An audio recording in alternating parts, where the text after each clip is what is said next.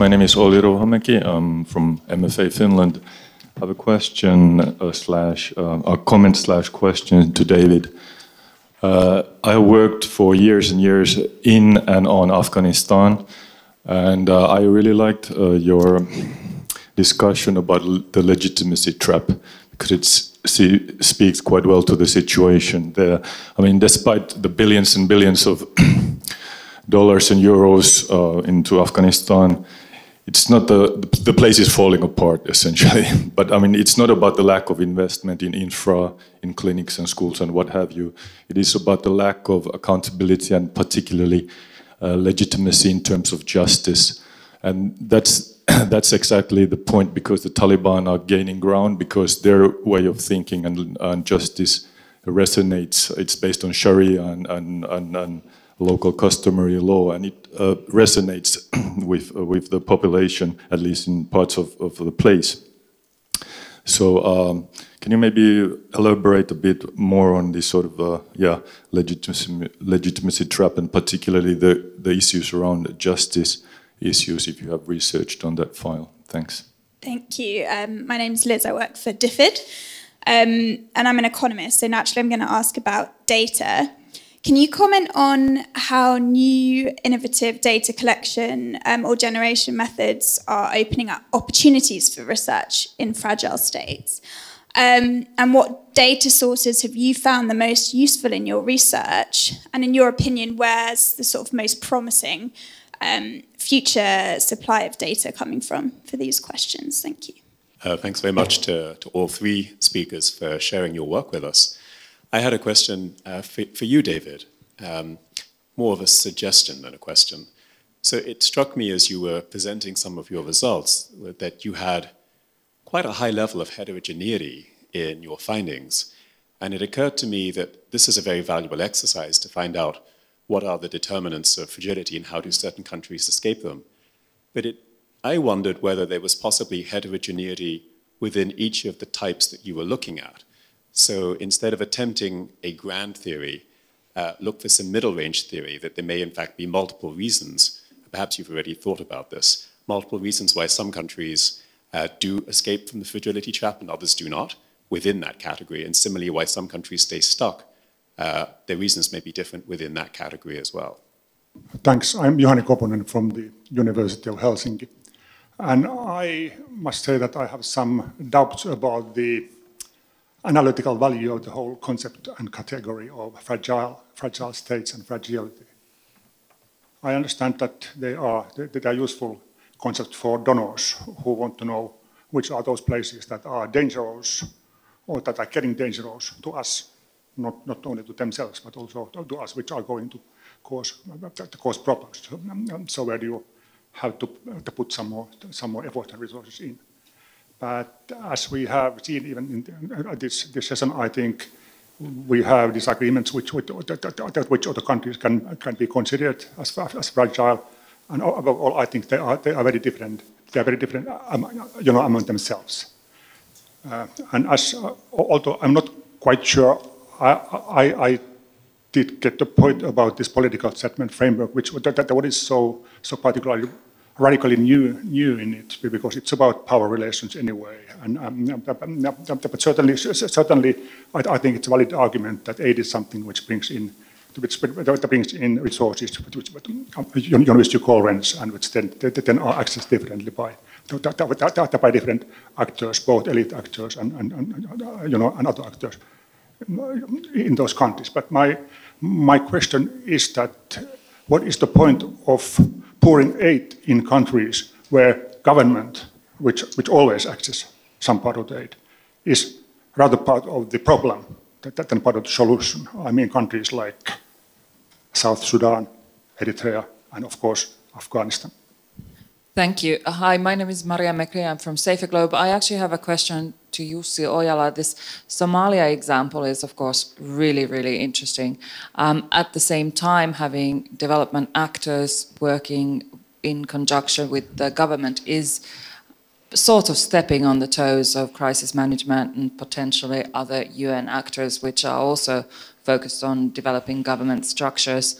Um, I would like to ask you where you think the special benefits were in this kind of collaboration, or was it just that you had this uh, window of opportunity to act here?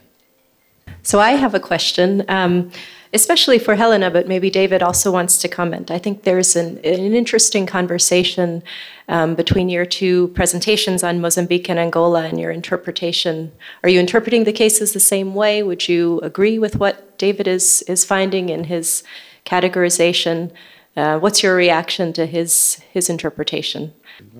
Um, on the question of Afghanistan, as you know, the uh, special uh, inve investigator of the United States has gone in and drawn the same conclusion that you have.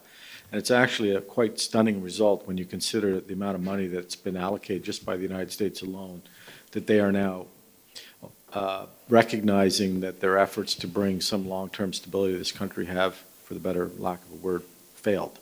Uh, and that the Taliban now controls more territory now than, than ever before uh, since the, uh, since the so-called global war on terror began 17, almost 17 years ago. So when your largest aid donor is coming to the same conclusion that the rest of us have known for some time, I think there's, it's a sobering and it's also uh, unfortunate that we have a government in the case of the United States that seems to uh, want to re-engage that country with a small, lightly armed military capability rather than rethink the problem.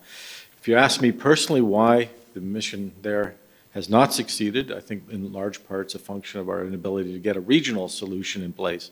Recognize that Iran, Pakistan, and even Russia and the neighboring Central Asian satellite states are all important to finding a lasting solution to Afghanistan, in particular Pakistan's obvious willingness to provide safe haven uh, for the better part of the entire time that the West was occupying Afghanistan, the Taliban were free to go where they wished. And this was rather sad in that this goes to my core point about the failure to engage Pakistan and Yemen uh, in ways that would have actually been meaningful to resurrect uh, or re re redirect these countries away from fragility. In the case of Yemen, you have a situation where the dialogue with Yemen was the global war on terror.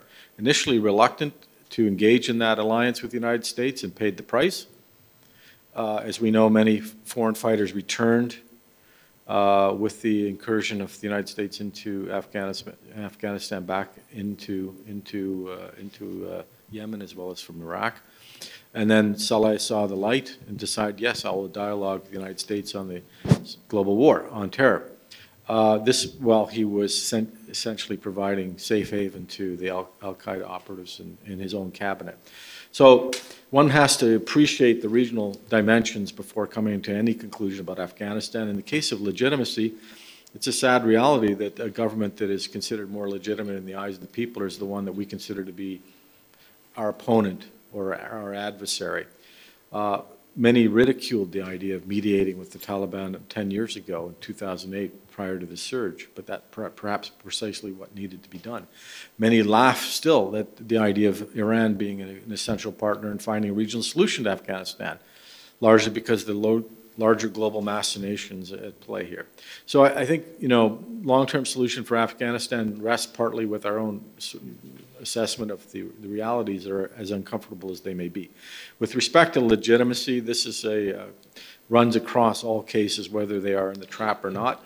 And I would encourage you to re review our working paper on the WIDER website where we unpack that a little bit, a little bit more.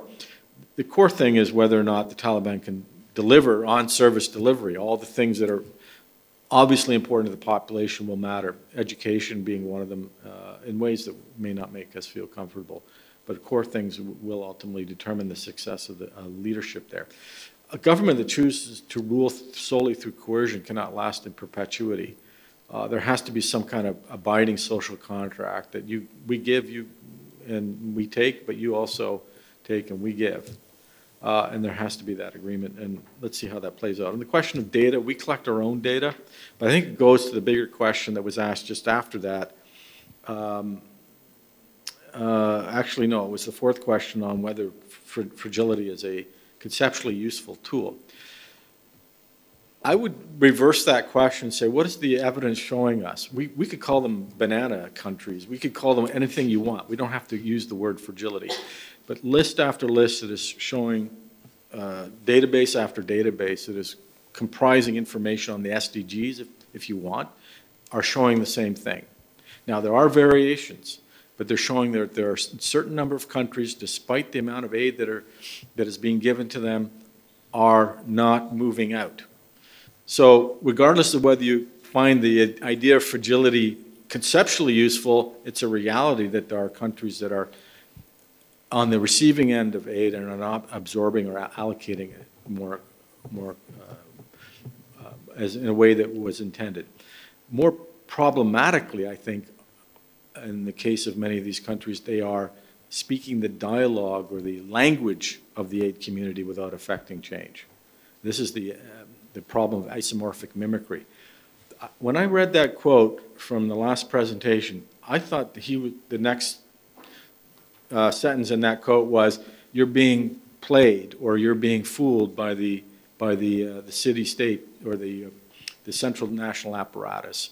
That there are things going on at the local level that the that the uh, the center doesn't want you to know about, or they're at odds with with the uh, with the, uh, the, the dialogue that is going at the local or regional level, because essentially that's where aid is distributed, and there are brokers, donor aid brokers, if you will, at the local level who use aid money in the way that was not intended, and basically that was a message to the aid community: stay out, or you know, there's there. So there there is a there is an issue here that you need to figure out. You can't ignore it.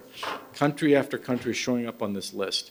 So on to the question of data, yes, I mean, we can pull on different data. I would, I would personally go at a more local level. I would pull at data that is not uh, pan-national, but rather sub-regional. And I would draw on uh, more uh, individual survey data as well as household survey data. But this, you know, frankly, this is a discussion we had 10 years ago. So, and DFID was a, uh, one of the leaders in this, in this uh, dialogue. So uh, I would encourage you to go back and look at the crisis states research that DFID funded through the London School of Economics, uh, which was in place for, I don't know, five, six years, maybe longer, uh, for all the data collection that was done by them. So on the conceptual definition issue, we could spend a lot of time deciding which countries should be on that list, but when we, when we draw the conclusion that there are certain countries that are always appearing on a variety of different lists, we've got an empirical issue here uh, regardless of whether you agree with uh, fragility or not. Ones that are not necessarily poor, ones that are middle income countries, ones that are not necessarily driven by conflict, uh, ones that have gotten over conflict but remain mired. So let's, let's look at that evidence and then talk about why we think that commonality exists, which leads me to Omar's obviously very difficult question because you basically say, why did we do something different? And I think methodologically he's right. We should have compared within cases, and there are obviously nuances and differences within cases. Uh, our desire here was to determine whether there were the commonalities, uh, perhaps not from a stringent methodological perspective, were robust enough that we could draw some conclusions about why types of states experience exit or stay trapped. Um, I, I agree entire, entirely that those commonalities are often stretched a bit, uh, and one has to make the case, especially in those that have um, moved in and out. I would believe I believe there's consensus and within our results on why states stay trapped and why they have exited. But on the in and out cases like a Mali or a Laos, draw a slightly different conclusion. And uh, we'll probably also focus on the question on data, which is kind of like one of my favorite issues. And to my mind, this opens a number of, um, of interesting questions and links again to the differences in the type of work that we do. And it's ultimately also a methodological question and, and a question that is um, uh, contingent upon the type of research questions that we're uh, pursuing.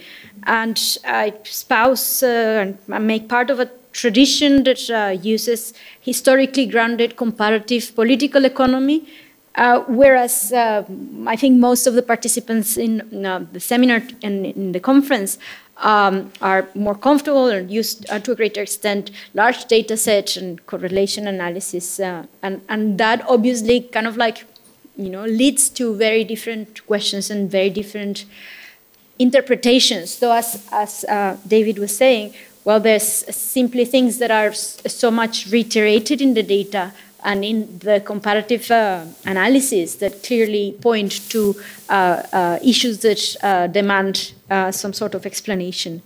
Um, and I would, we won't have time for this, but I would kind of like revert the question back to David in terms of um, perhaps I didn't quite get it in your presentation, but it'd be really interesting to, uh, if you could tell us a bit more, how is it that these proxies of uh, fragility are constructed? Because it is in how do we measure that fragility that some of the discrepancies in the way we explain these clusters uh, or groupings in, in, of countries um, um, may reside.